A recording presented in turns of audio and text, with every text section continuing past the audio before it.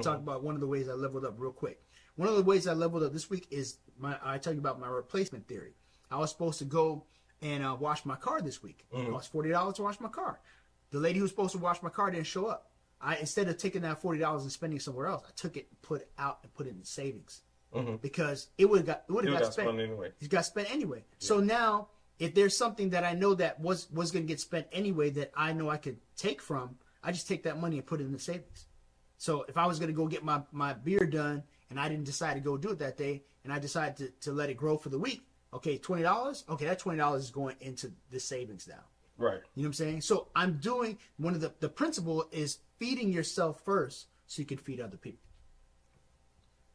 And that's that's that's what we that's what we're here for, guys.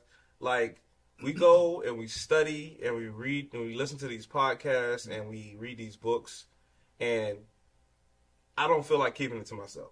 Yeah, exactly. You know what I'm saying?